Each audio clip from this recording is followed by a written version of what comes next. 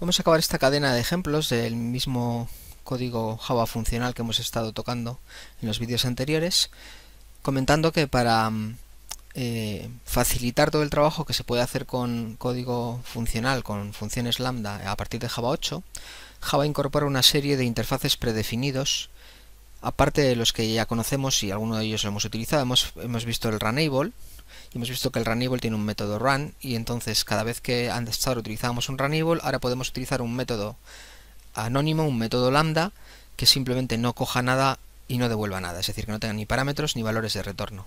Bueno, pues hay cuatro, hay más, pero sobre todo hay cuatro interesantes eh, nuevos interfaces que incorpora Java 8. Están, si queréis explorar, en el paquete java.util.function y son estos cuatro que tenéis aquí definidos, Consumer, Predicate, Supplier y Function.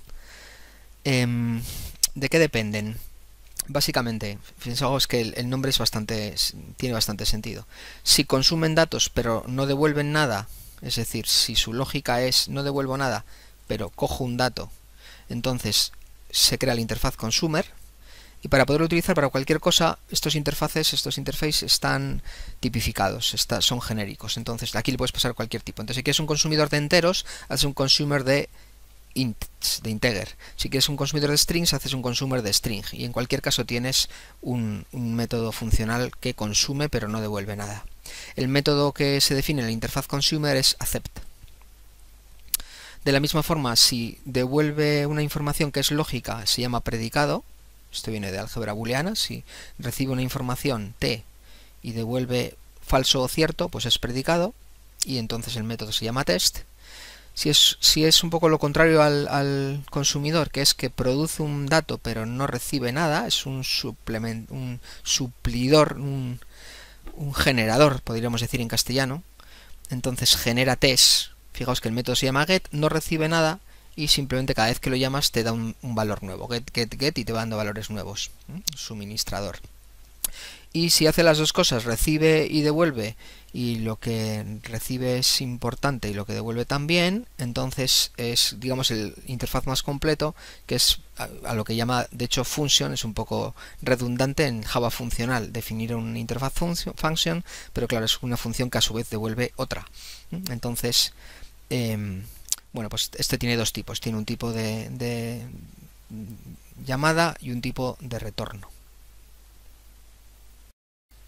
¿Para qué nos sirve esto? Bueno, pues en lugar de definir nuevas interfaces como hemos tenido que hacer aquí, muchas veces, no siempre, porque a veces tendrá sentido definir nuevas interfaces, pero os acordáis que definimos un interface que recibía un array list de enteros y no devolvía nada. Vale, pues no va a haber que definir estos interfaces porque ya Java tiene estos interfaces funcionales que lo permiten. Entonces, en nuestro caso, recibe algo y no devuelve nada, es un consumidor. Entonces, en lugar de utilizar este interface, lo que voy a hacer es cargármelo. Digo, que procesa lista enteros recibe esto y no devuelve nada. Vale, pues voy a hacer un cortar aquí. Voy a quitar el interfaz y voy a ver cómo hago las sustituciones. Cada vez que antes decía el array list es de procesa lista enteros, lo que voy a decirle ahora es que es de un consumer de array list de integer. ¿Mm? Consumer tengo que importarlo. Ahí, os fijáis, está en el interfaz en el paquete javautil.function. Entonces, cada vez que esto mm, lo hacíamos con la interfaz con nombre propio, el que yo he definido, pues lo que hago es utilizar un interfaz genérico que me suministra Java 8 y voy a cada vez sustituir en lugar de el interfaz eh, con nombre que teníamos nosotros, el interfaz nuevo definido de acuerdo a consumer. Entonces, como abajo también lo tengo referenciado, ahora vamos con el procesa. Eh, en vez de procesa, eh, os acordáis que el consumer tiene un método, bueno, no tenéis por qué acordaros, eh, cada uno de estos interfaces tiene un método, ¿vale? El runable tiene el run, el consumer tiene el accept, acordaos que siempre tiene que tener cada interfaz solo un método y si no, no podría ser eh, sintaxis funcional, ¿no? Entonces el consumer tiene un método que se llama accept. ¿Por qué han llamado accept? Bueno, pues la llama accept como le podían llamar, haber llamado de cualquier otra forma, es aceptar el, el valor que ese consumidor provoca, ¿no? Entonces sustituimos por accept donde antes poníamos procesa, ahora ponemos accept Este problemilla que se me ha producido aquí es no, no es puramente de expresiones funcionales, es una incompatibilidad que tiene Java que no se pueden crear arrays de tipos genéricos. O sea, aquí hay un tipo genérico, esto pasaría igual con un map o con un array list o con cualquier otro tipo genérico. No puedes crear un, array donde a su vez dentro del array hay tipos genéricos de forma em, de esta forma de, creación como estamos haciendo ahora. Entonces, como este array realmente era puramente eh, operativo para cargar un array list, que es lo que realmente queremos hacer, en este caso lo voy a hacer en lugar de con una construcción directa desde el array, pues con un, con un inicializador. Init funciones, por ejemplo.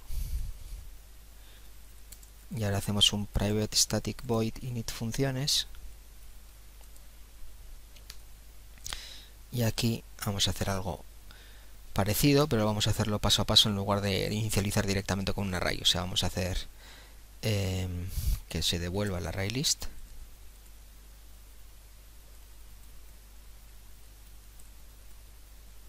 Estoy copiándolo de arriba, ¿lo veis? Simplemente vamos a inicializar esa variable de arriba. Suena un poquito más de trabajo, voy a copiarlo y pegarlo. Esto es lo que queremos devolver. y lo que queremos hacer es que eso tenga dos valores. El primer método que es este ahora ya sí, esto me va a funcionar. Y el segundo método que es este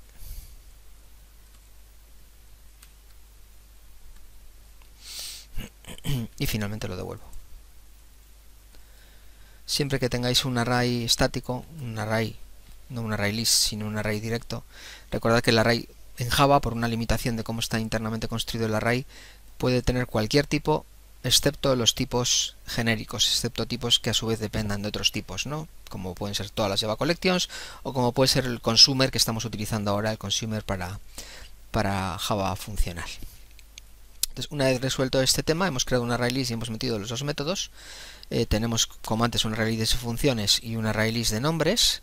Y eso, el array list de nombres es el que va a ir al, combo box y el array de función es el que se va a ejecutar. Entonces realmente no hemos cambiado más que hemos quitado el interfaz que teníamos. Todo este vídeo de lo que va es que podemos utilizar estos interfaces en lugar de crear interfaces nuevos. Muchas veces siempre que os respondan a uno de estos cinco esquemas de no paso nada, no devuelvo nada, paso algo, no devuelvo nada, paso algo, devuelvo un, un, boolean, no paso nada, devuelvo algo, o paso algo y devuelvo algo, que es el más complicado y el que podemos combinar con otros a su vez, los podéis utilizar en lugar de definir interfaces nuevos. Si vuelvo a ejecutar el código ya para acabar.